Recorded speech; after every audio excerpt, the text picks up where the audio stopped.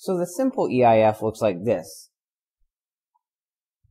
for, say, a flat wall, or at least a small region in which we can assume the wall is flat, just to make things a little easier.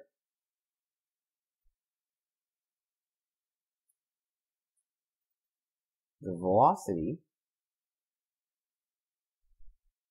is our surface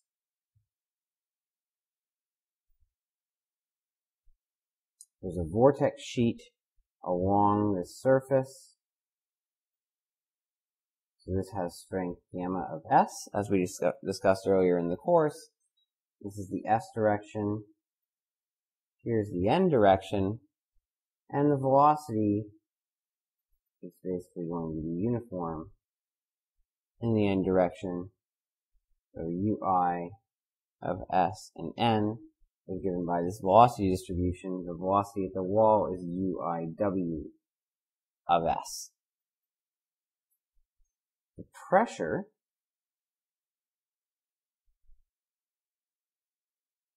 is our wall. The S direction, the N direction, and the pressure is just going to be pi because the velocity is not varying. So the pressure won't vary, and then again we get piw of s.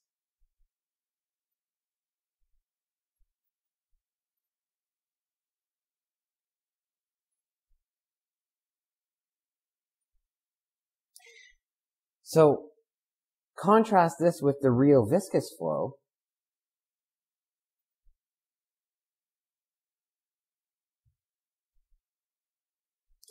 Which looks like this.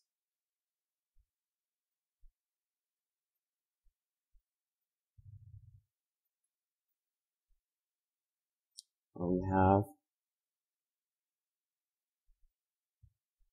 a boundary layer edge that's growing, and say at this point, there's the N direction, there's the S direction, there's a boundary layer thickness, above which the velocity is uniform. So we call this dashed line NE of S, where the subscript E represents edge. So this is the edge of the boundary layer. So then here we have U of S and N, and at the edge of the boundary layer, we have the E of S. And then the vorticity, instead of being confined to a sheet, is omega of S and N all through the boundary layer. The pressure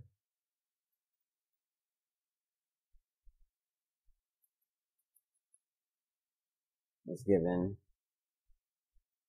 Again, if we draw in an E of S, we've got our vorticity, omega of S and N. The pressure now will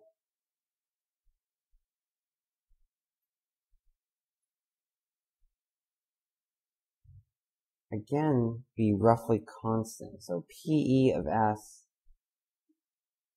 will just be the same as any value P of S and N, and here at the wall we have PW of S. And this is because V is much smaller than U. Basically, here there's no subscript i's because this is the real flow rather than our imaginary viscid flow. This means that the streamlines are not significantly curved in the real flow. So the implication of that is that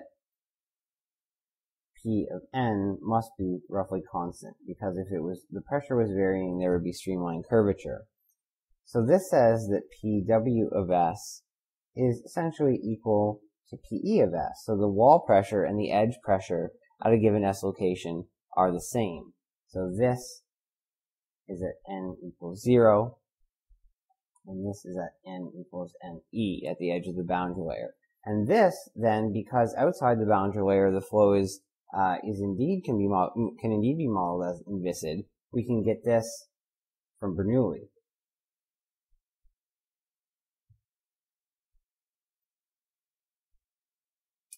So that P W of S, which is approximately PE of S, is equal to P infinity plus 1 half rho V infinity squared minus 1 half rho UE squared. And we drop, really here, this is UE squared plus VE squared, but since V is much smaller than U, when it's squared, VE squared becomes truly negligible compared to UE, and so we drop it here. So we call UE the edge velocity.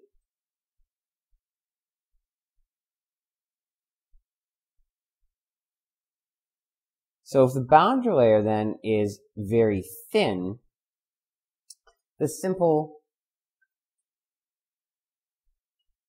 EIF is actually a good model because what we get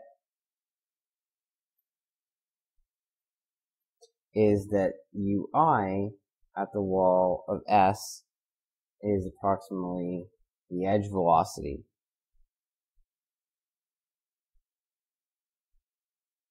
And that means that Pi at the wall of S is essentially P at the wall in the real flow. So the equivalent inviscid flow model, the EIF, captures the surface pressure.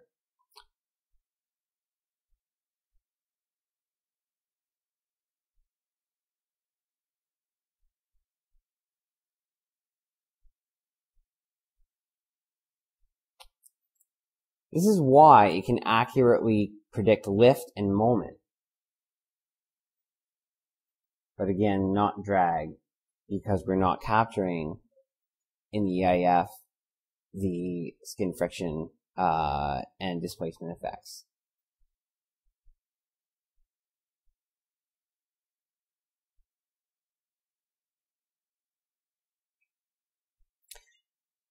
Now, if we compare the sketches of the real flow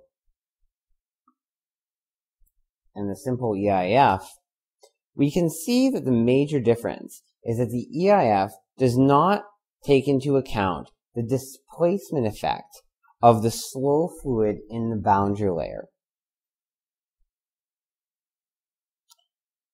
So this would displacement effect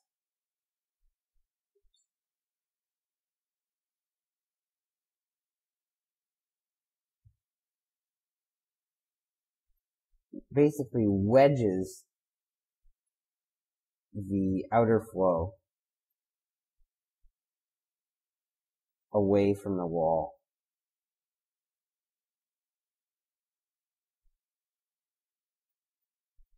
And sketch that by, let's say if we had flat plates starting here,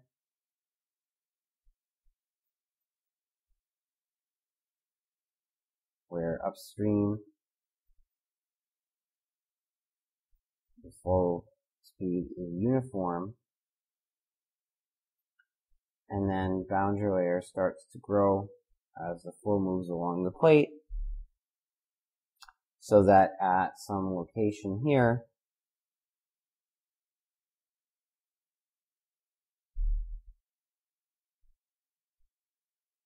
the boundary layer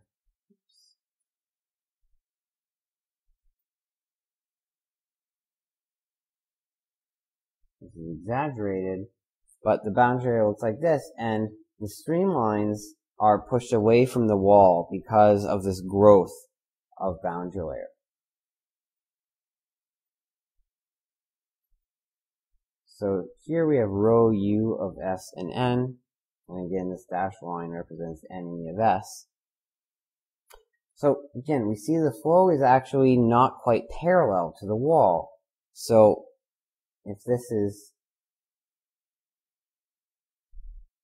the NE of S line,